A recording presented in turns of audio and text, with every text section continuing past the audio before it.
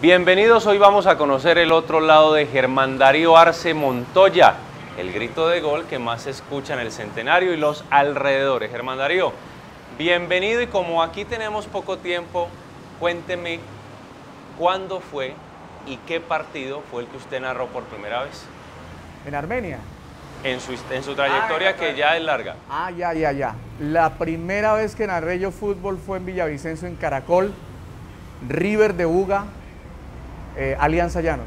Y ha narrado en Argentina, Copa Libertadores. Libertadores. ¿Cuándo fue? ¿Quiénes estaban allí? Eh, estuve trabajando en, Cara- en Super Cali con Willy Medina. Eso fue hace más o menos unos ocho años atrás. Y en ese periplo, cuando usted empieza a narrar en los llanos orientales y ahora que narra en el centenario, ¿por qué emisoras ha pasado? Caracol, Super, eh, RCN, eh, emisoras privadas.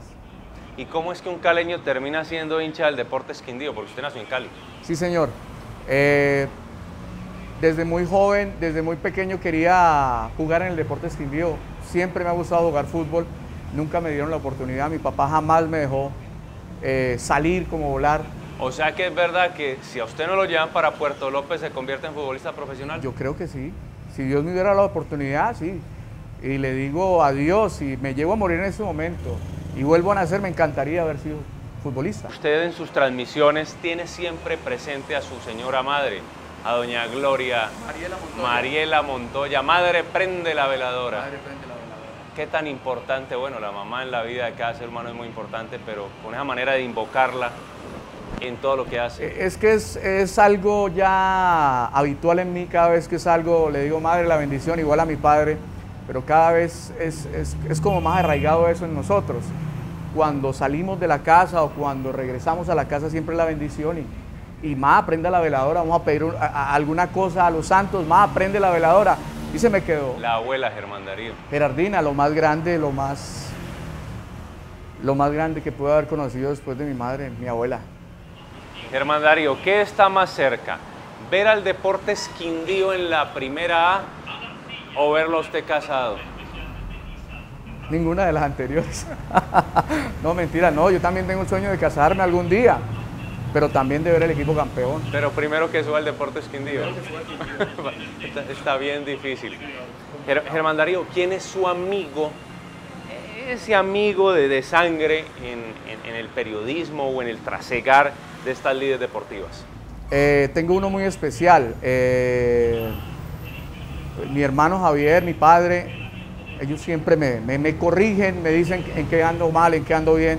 Y hay uno que siempre me, me- escucha, que es eh, Oscar Sierra, que no tiene nada que ver con, con- el periodismo, pero es un hombre que en todo el sentido de la palabra es un excelente amigo, un excelente ser humano.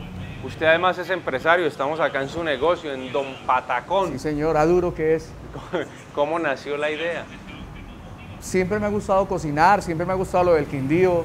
Eh, si por mí fuera, me moriría en esta tierra verde, bella y buena de Colombia. Amo todo lo que es del quindío, sus locos, su basura, sus huecos. No amo la corrupción. Estamos jodidos con estos eh, mandatarios, estos eh, políticos que no quieren al quindío. Que le gustan las rancheras Me gustan las rancheras de Vicente.